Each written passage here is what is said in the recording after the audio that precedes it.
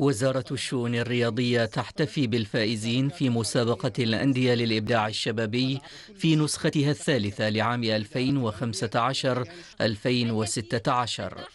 ثمانية وثمانون فائزا في هذه المسابقة التي شارك فيها أكثر من خمسة آلاف وخمسمائة متسابق من مختلف أندية السلطنة.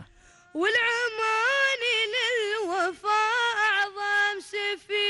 المكسب الأول في المسابقة مش المركز كثر ما أنه آه هذه هذه الهالة الثقافية وهذه الحركة الثقافية اللي نعيشها كلنا مع بعض ونتمنى تتكرر كل سنة.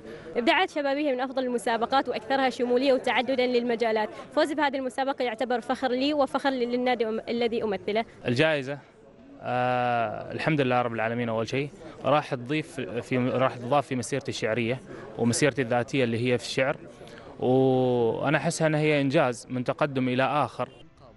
تنافس المشاركون على مدى خمسة أشهر في عدد من المجالات منها الفنون التشكيلية والتصميم الرقمي والشطرنج والمسرح والإخراج السينمائي والتصوير الضوئي والبحوث والتعليق الرياضي.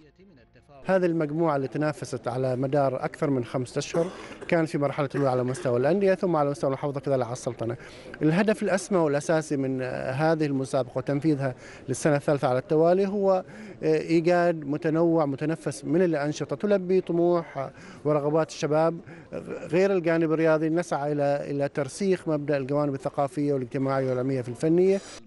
مسابقة الأندية للإبداع الشبابي تعتبر إحدى البرامج التي تعمل على تطوير العمل الشبابي المؤسسي لتشجيع واستقطاب المجيدين والمبدعين في مختلف الأنشطة الشبابية وتنمية قدراتهم بالإضافة إلى تمكينهم من التفاعل مع مختلف الأنشطة الثقافية والاجتماعية والفنية والرياضية وربطها بقضايا المجتمع.